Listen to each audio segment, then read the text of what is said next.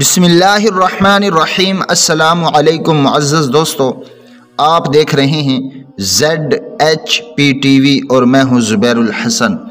Z H P T V کے معزز دوستو، آپ دیکھ رہے ہیں آٹھ ہزار صحابہ کی ہسٹری کے بارے میں۔ بیتالیسویں ایپیسوڈ کہ جس کا ٹائٹل ہے کس عورت کی؟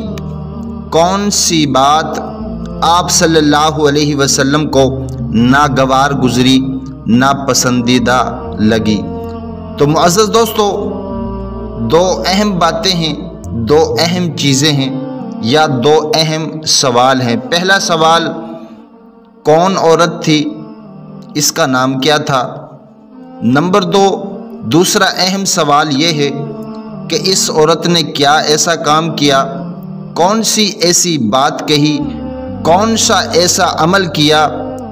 کہ وہ عمل آپ صلی اللہ علیہ وسلم کو ناپسندیدہ لگا، ناگوار گزرا۔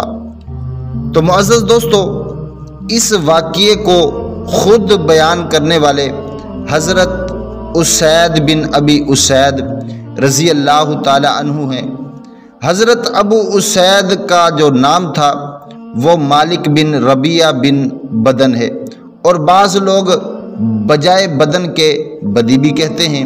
مگر حضرت اسید بن ابی اسید کا جو زیادہ نام مشہور تھا، وہ بدن تھا۔ اور وہ بیٹے ہیں عامر بن اوف رضی اللہ تعالی عنہ کے۔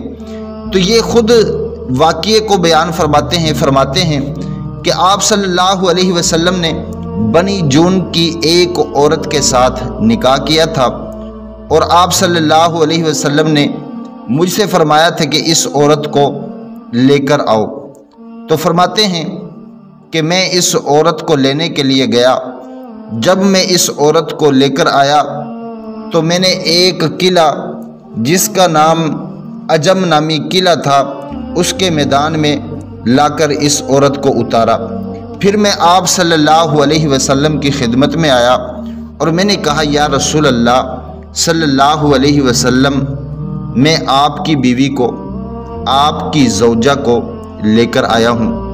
یہ فرماتے ہیں کہ پھر آپ صلی اللہ علیہ وسلم وہاں اپنی زوجہ کے پاس اس قلعے میں تشریف لے گئے۔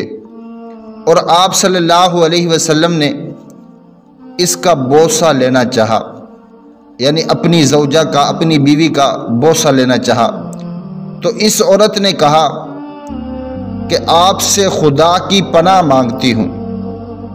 جی ہاں بہت ساری خواتین یہ خواہش کرتی تھی کہ آپ صلی اللہ علیہ وسلم کے نکاح میں آ جائیں، لیکن یہ ایک ایسی بد نصیب عورت تھی۔ اس نے کہا کہ میں آپ سے خدا کی پناہ مانگتی ہوں۔ آپ صلی اللہ علیہ وسلم نے فرمایا کہ تو نے بہت بڑی پناہ مانگی ہے۔ غرض یہ کلمہ، یہ بات، یہ عمل اس عورت کو، اس عورت کا آپ صلی اللہ علیہ وسلم کو ناگوار گزرا، ناپسندیدہ گزرا اور آپ نے پھر اسے اس کے مکان پر واپس کر دیا۔ تو معزز دوستو، پھر آپ صلی اللہ علیہ وسلم نے اس عورت کو فارغ کر دیا، اس سے جدائی اختیار کر لی۔